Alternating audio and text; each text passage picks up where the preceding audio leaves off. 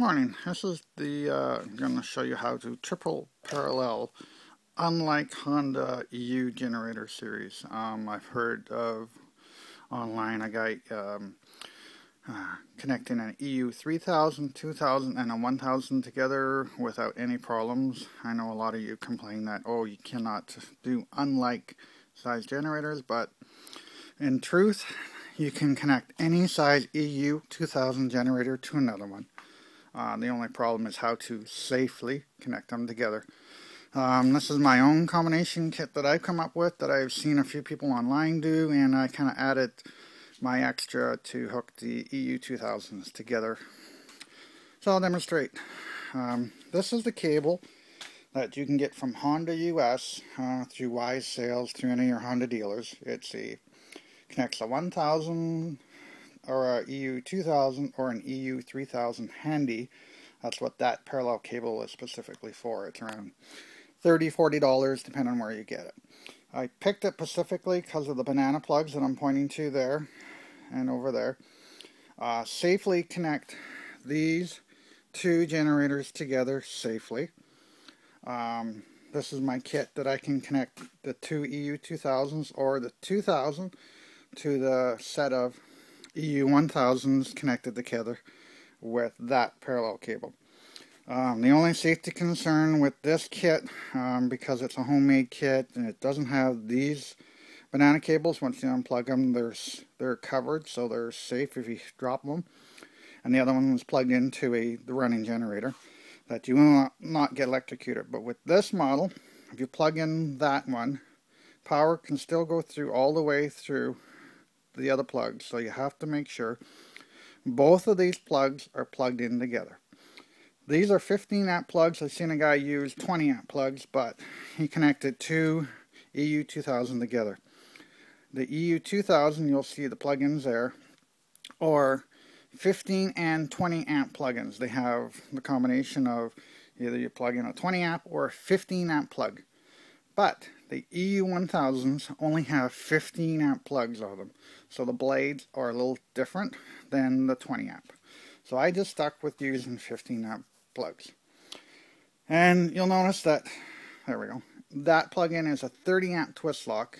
And what I did is made myself a 30 amp 120 twist lock to an RV plug. You can actually buy these factory made uh, at most places, even the EU um, 2000 um, companion kit has that cable and a twist lock from 30 twist lock to 30 amp RV or is it the other way around the 30 pushing 30 or I'd have to look it up but you can look it up yourself. And I actually have this 30 amp twist lock that goes to a 15 amp uh, regular plug-in. I use that because then I can plug in my house or any other um, appliance that runs 15 amp but needs a higher surge to start. Then I can connect two of the, the 2000 and the 1000 together to get the higher surge. You notice that the EU 2000 is a 13.3 uh, rated with I think a 16.7 uh, max for 30 minutes. The EU 1000 I think is 7 amp, 7.7 with 8 something. You'd have to look up the specs online. Um, just a little note for some of you guys who are running uh, RV 13.5 air conditioners. Um, some of you claim that the EU2000 you can start your air conditioner, but some people say it's really a heavy load. Some cannot. I cannot start mine on the 13,000. 5 on just the EU2000. If I hook an EU2000 to one of the EU1000s, it works fine. Or, surprisingly enough, if I hook, hook the two EU1000s together, I can start my RV air conditioner without a problem as long as the eco mode is turned off on the generators. Surprisingly enough, the EU1000s will put out 900 watts rated, a 1000 max for uh, 30 minutes where the EU 2000 is 1600 watt rated and 2000 max for half an hour. So these little guys actually put out more rated power than the 2000. So it's an interesting little fact. Um, I'll actually show you how I hook this up. Sorry, it's just my partner that was going to help me do the videoing is sleeping in today. Yeah, that's what happens with teenagers. So, as you notice, I connected one of the plugs over there to one of the, see if I can get that, there. So, I actually have a video with all of these hooked up online, but um, some of you actually asked me to explain exactly how I hook them up.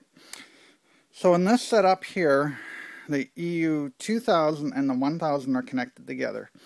Uh, there is a basic rule that you have to always abide by. The generators all have to be turned off and plugged in before you start them. You cannot have one running and plug the other ones in. Um, that's just, I don't know if the computers, the computer do, do all of the syncing, all of the control, all of the, the revving up for the load. Um, and you wonder if a 2000 and 1000 together, if the 1000 carries most of the load. No, it does not. It shares the load equally to what its uh, power level is. So if it senses that the voltage drops and needs to rev up to this to get the right voltage, uh, the 1000 will rev up accordingly in the 2000. And if you figure that uh, the 2000 revs up uh, another 2000 RPM, it puts out say 1200 watt and if the 1000 revs up 2000 watt it's putting out up to 500 watts. So the combination of that is what you get for power. Um, they equally share the load for to the rated or max wattage. It's uh, the E1000 doesn't carry the load more than the 2000 they equally share it together. And even if you connect the three of them together which I'm about to show you how I do which is real easy. Um, you take your banana clips. Um, you'll notice that with this set, the banana clips are colored red. Uh, the um, That's just the way uh, this set was colored. Some of them are not colored, but the, the manual asks that you put the, if I do believe right, red to the middle, black to the outside, and you'll notice that over here, I'm not going to hook it up, but the ground does get screwed onto there. Then you go over to the other unit, red to the middle.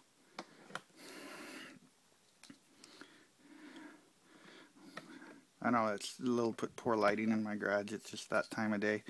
And actually I will hook the ground up, just bear with me. A little hard doing this one-handed.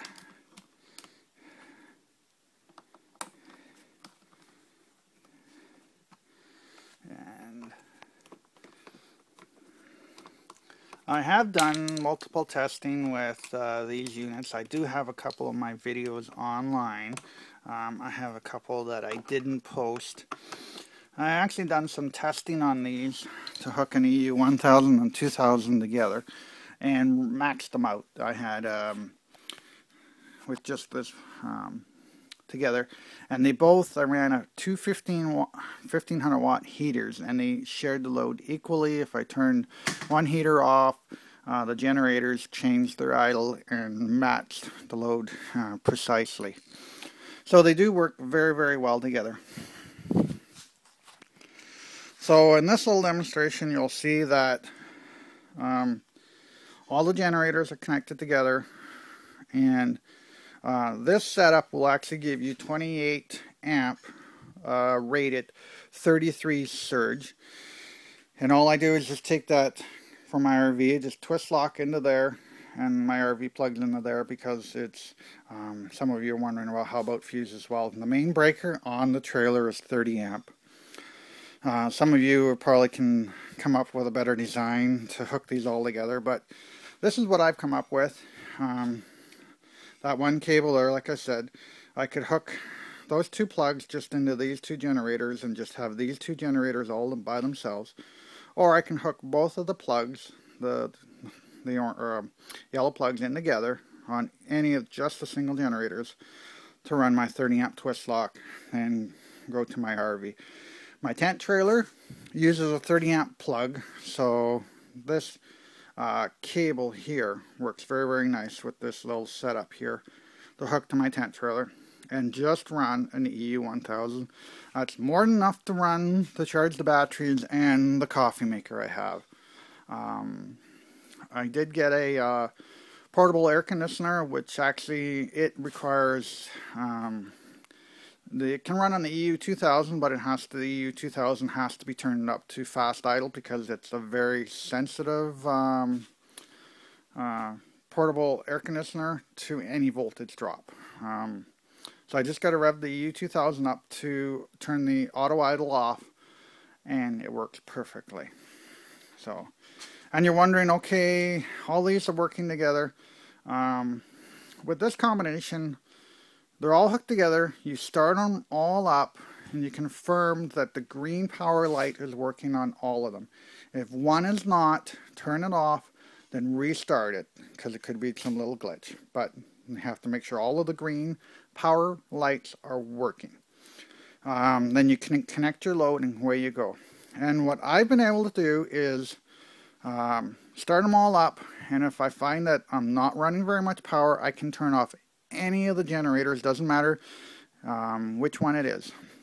If I start the 2000 and start one of the all of the the other 1000 it doesn't really matter so far um, which one you uh, you know if you turned start it with the 2000 turn that one on then turn that one on I can turn these two off once I get everything connected together and just run on that one alone. If I need more power, I can turn that one on and just have the two of the 1000s together. If I need more and more power, I can have all three of them running. It doesn't matter which one you start at first and which one you switch to. Uh, once they're all connected together and restart it, they all sync in together and they match the, their RPM to what power is needed. Um, they share the load equally according to the wattage and I've had no trouble with running them at all so far. And I've done a couple hours worth of testing. So and I got one I know one guy on an RV site that's run it for a lot longer than that. And like I said you do the 3000 2000 1000 together no issues. If you have any questions let me know. Okay thanks. Bye bye